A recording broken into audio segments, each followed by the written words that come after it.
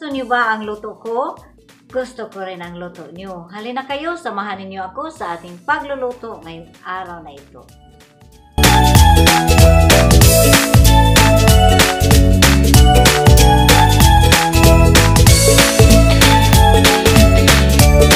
Hello mga palangga! Bago tayo magpatuloy sa ating recipe ngayong araw na ito, please don't forget to subscribe my channel and hit the notification bell para naman ma-notify kayo sa ating mga simpleng recipe. At ang lulutuin natin ngayon, or tayo ng kinilaw na pasayan. Paano natin ah, pasarapin ang ating kinilaw na pasayan? Alamin ninyo mamaya. So bago tayo magpatuloy sa ating gagawin ngayon, ay tayo ay mag-slice naman ng ating mga ingredients. Una natin gagawin ay ang ating luya. I-slice lang natin ng thinner para naman ma para naman su sumasarap ang ating kinilaw na pasayan. Ayan, balik natin ulit dyan. Ang isunod nating i-slice ay ang ating onions.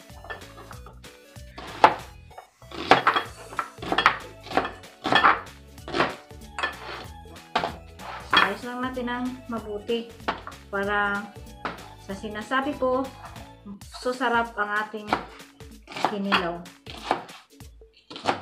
Ayan. Balik natin uli dito sa ating sisiglan.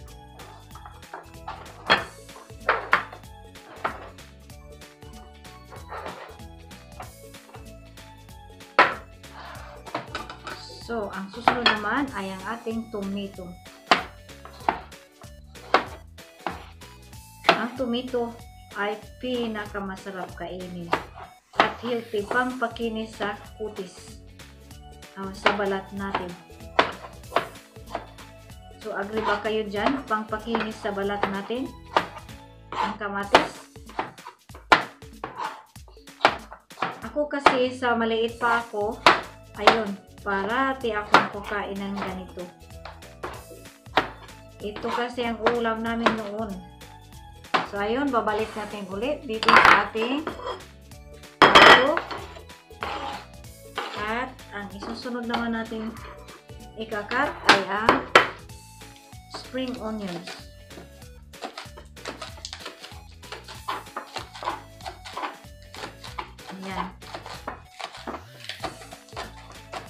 Mas maganda talaga basta lalagyan ng spring onion para mayroon lang mga flower flower ang ating masarap ang ating ginagawa na pagkain. At saka masarap din yun. Ang susunod naman lalagyan natin ng limon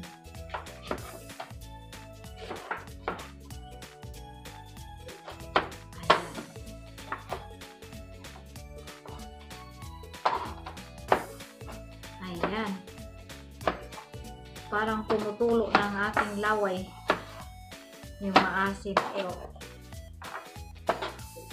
Ayan. So, ang susunod naman natin gawin ay, pinak ay ang pinakamatindi na maanghang. Iniwan ko ba basta mayroong maanghang basta kinilaw masarap kainin. Ayan.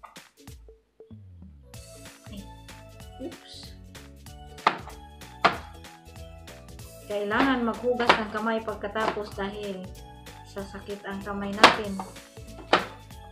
Pag hindi tayo hugas ng kamay. Okay. Ilagay ulit natin sa ating bowl. Yan. Maghugas na tayo ng kamay. At ang susunod na pa natin gawin ay ikakat natin ang ating shrimp.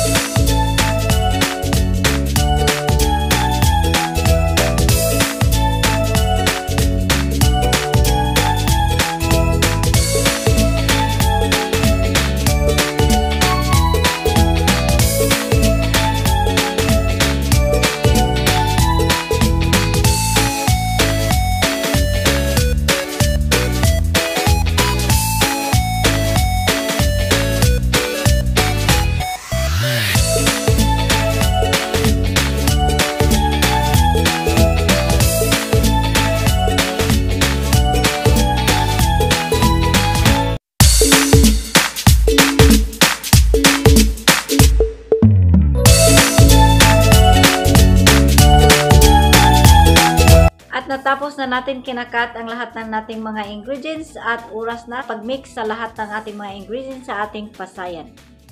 So, ayan, ito na ang ating pasayan. Ito na. Oras na natin sa pag-mix sa lahat ng ating mga ingredients. Ang una nating ilagay ay ang ating ginger. Of course, i-mix lang natin. Siguraduhin na ma-mix ang lahat. At ang susunod naman natin ilagay ay ang ating onions. Ayan, daming onions dahil gusto ko ang onions. Ay, of course, ako lang ang kakain nito dahil ang asawa ko, hindi man yan kakain nito ng ganitong pagkagawa or pagkaluto. So, i-mix lang natin, siguraduhin natin na ma-mix ang lahat. So, parang tasty ang ating uulamin bukas. So, ang susunod naman natin ilagay ay ang ating tomatoes. Ayan. Listen procedure lang. Imi-mix natin ang lahat. Ayan. Dumami ang ating kinilaw ha. Ayan. Mix natin ang lahat. So, ang susunod naman ngayon nating ilagay ay ang pinakahihintay natin na maanghang. Ayan. The same procedure lang, mix lang. Sisiguraduhin natin na mag-mix ng mabuti. Ayan. Mmm, mabango. Mabango ang maanghang. So, ang susunod naman nating ilagay ay ang ating uh, vinegar or suka. Hindi natin ilagay ang lahat dahil madami ito. Maasim.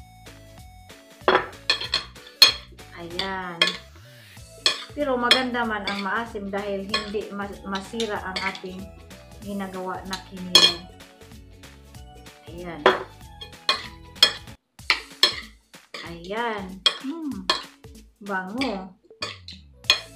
At ang susunod naman natin ilagay ay ang ating lemon. Pigain lang natin. Pwede rin ilagay dyan, dyan basta pigain natin ang lahat. Oh. Ayan. Pigain na. So, ilagay lang natin ang lahat dyan. At ating imimix ang lahat. So, kung sa, sa tingin ninyo, masarap kaya ito. Para sa akin, gusto ko ganitong pagkaluto. Luto na, na itong shrimp na to, pero uh, nilagay sa freezer. So, ayun. So, ang susunod nating ilagay ay ang ating asin or salt. Para eh, iwas sa high blood pressure. Hindi naman tayong high blood pero kailangan mag-ingat pa rin. O, diba? so ayan. Titikman na natin ang sarap. So parang hindi pa siya nami-mix ang asin so tikman natin Mmm. Mmm. Super sarap. Mmm. So, ang susunod naman natin ilagay ay itong ating spring onions. I-garnish na lang natin sa itaas. Ayan. Ayan. Sobrang sarap. So, ayun na. Ito na ang ating kinilaw na pasayan. Hmm. Tikman mo ulit natin. Hmm. Masarap. Alright. Ayan, ito na ang ating kinilaw na pasayan. Hmm, masarap. Bukas ko to kakainin dahil gabi na ngayon. So, salamat sa inyong panonood at kita-kita tayo sa ating susunod na mga recipe. Bye! I love you all!